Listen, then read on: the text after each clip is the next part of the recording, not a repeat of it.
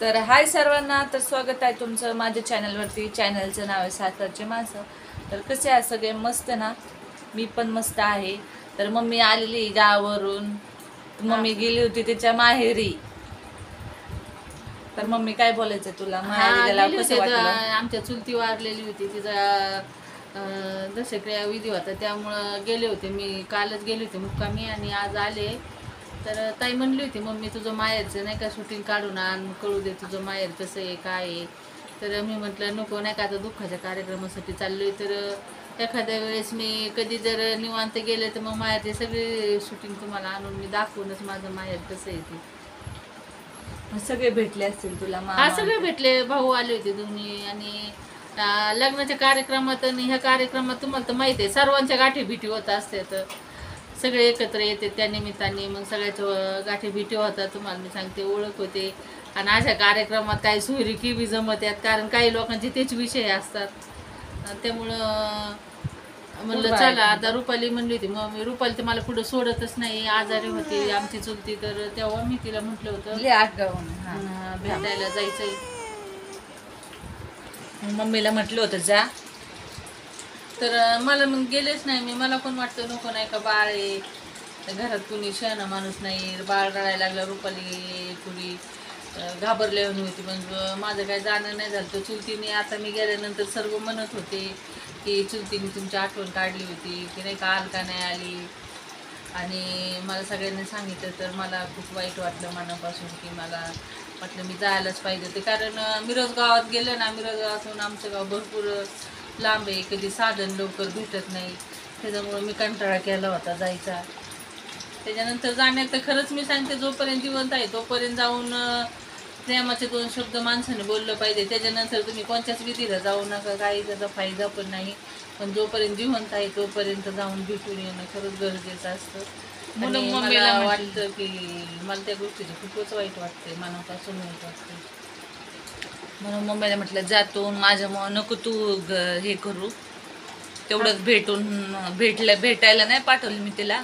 पण असं नव्हतं माहिती असं होईल म्हणून.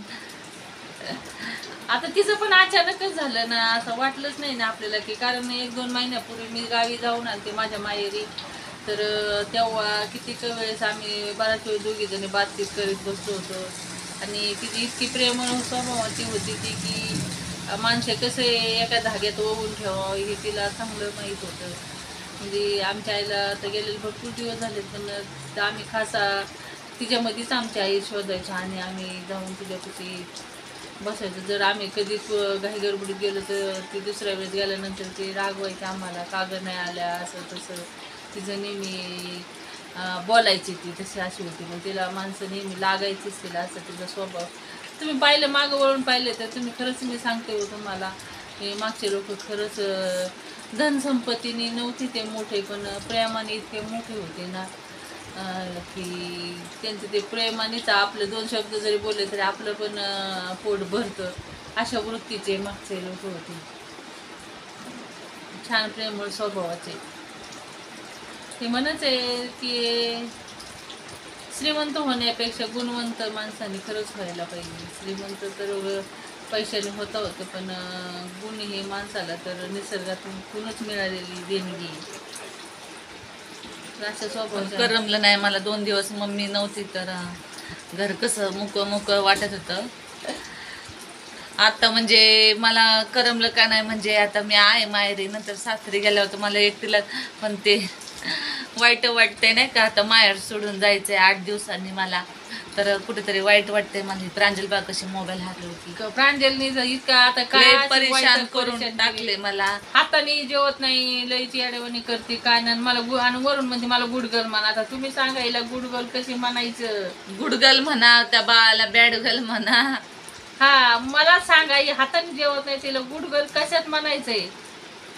आता जायचे मला आठ दिवसांनी मी जाणार आहे कर्जतला. मम्मीला करमणार नाही आता मलाच कसं तरी होतं रडायला आल्यावर. मम्मीला करमणार मम्मी कर म्हण तुला मी गेल्यावर. आता तू गेल्यावर काय कर मग? थोड्या दिवस तर नाहीच करमणार मला. मग तर आज मग आईला थोडी करमत. मुलीची तर रोज आठवण येतच असते. जायचंय मलाच वाईट वाटतंय आईला समजून घेणारी एक मुलगीच असते आई वडिलांना म्हणजे तिच्या वेदना ज्या होणार आहेत मी गेल्यावर त्या मला आता जाणवतात. म्हणजे तिला गेल्यावर काय फील होणार आहे? लय भयाना म्हणजे लय आता रात्रीच गे- गेले एक दिवसासाठी तर मला वाटलं मी पिलोला कधी बघन बारक्या छोट्या पिलोला कधी बघन आणि प्रांजलला कधी बघन असं मला आतून इतकी ओढ निर्माण होती मी कधी त्यांना दोघींना बघन असं होतं. तेच ना. तिला ती तिथं तिच्या- शरीर पण अं, रुपालीच्या सासरी तसंच झालंय. अं, की त्यांना पण असं झालं आम्ही प्रांजलला कधी बघू आणि छोटीला पण कधी बघू. त्यांना बी खूप एक्सायटेड झालंय की बाबा ही कधी येते इकडं म्हणून. तेच ना जायचं आता. मला आठ दिवसांनी जायचं आहे म्हणजे मला दोन चार दिवसांनीच जायचं होतं पण आहे ना बारकीचा एक डोस राहिलाय. तर इथं ना नगरमध्ये चौथ्या मंगळवारी येतो इथं हॉस्पिटलमध्ये तर त्याच्यासाठी मी थांबले नाही तर मी जाणार होते लवकर कारण कर्जतला. हा तिचा तेवढा डोस पूर्ण झाला मम्मी पाहिजे. सोबतच जाणार होते आज मी खरं म्हणजे काल जाणार होते म्हटलं नको आता. प्रीतीकडे राहावा काही दिवस? प्रीती म्हणते तिला की ताई तुम्ही आता बाळासोबत अं, बाळ माझ्यासोबत कधी राहणार आहे? अं, तुम्ही तर मुंबईला राहतात पण माझ्यासोबत बाळ कधी राहील? मग मला बाळासोबत राहायचंय. तिने खूप रिक्वेस्ट करते नाही का तुम्ही या या मला बाळाच्या संगतीत राहायचं खालू नको. जायचंय मला कर्जतला आठ दिवसांनी. कसे दिवस? कसे दिवस निघून गेले? दोन महिने. दोन नाही तीन महिने निघून गेले. कशी कळलेच नाही. जायचे दिवस तरी कळ आम्हाला तर वाटत नाही मला स्वतःला की रुपाली तीन महिने राहिले म्हणून. लय अवघड. शेवटी कसं आहे एक नाही दिवस जायचंच आहे नांदायला. तर रुपालीपेक्षा तुम्हाला म्हणलं या दोन चिमुरड्याची जास्त हे होते. एक बुट्ट तुम्हाला तर माहिती आहे मोठं कसं आहे. ते दाखवून बाळ त्याच्या अंगातलं बाळच बाहेर निघालं नाही. आता स्कूलला गेल्यावर काय माहिती आता त्यातलं बाळ मॅडमलाच काढावं लागणार आहे. अजून हाताने खात नाही. बोलायला तर काय नुसतं बात आहे मम्मीला म्हणजे माहेरी गेली पण मम्मीला असं अं, म्हणजे थांबूशी न नसेल वाटलं कारण आई वडील नसल्यामुळे आणि त्याच्यामुळं आणि आता मला तर कसं तरीच वाटतं. माहेरी गेल्यानंतर मम्मी तरी तुला कसं वाटलं? तर माहेरीला जाणं म्हणजे आता बाकी सगळे गणपत भेटत असतात पण आपले जे मेन आहेत आपल्या प्रेमाचे आई वडीलच आपल्याला दिसत नसतात. म्हणून माहेराला आ, सुखही वाटतं आणि दुःखही वाटतं. दोन्ही बी अनुभव येत असतात. तर चला मग भेटूया पुढच्या व्हिडिओमध्ये तोपर्यंत बाय